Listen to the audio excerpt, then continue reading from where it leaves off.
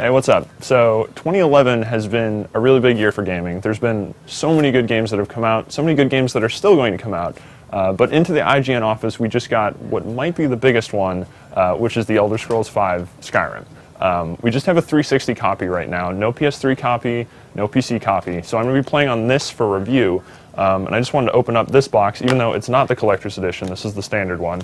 Uh, so there's a Prey ad. I'm going to put that over here. Um, uh, obviously the game disc and the instruction manual, which is actually pretty detailed. Um, if you go through, I mean, a lot of instruction manuals these days are like two pages long and are just warranty information.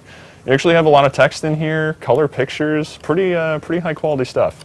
Um, and of course, warranty information.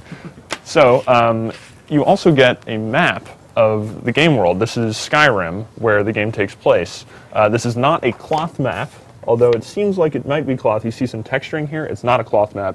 I believe that comes in the collector's edition, but it's still pretty cool uh, that you get that so that you can track yourself not only on the in-game map, but on a real-world map for some reason. I don't know, whatever. Um, still a nice extra.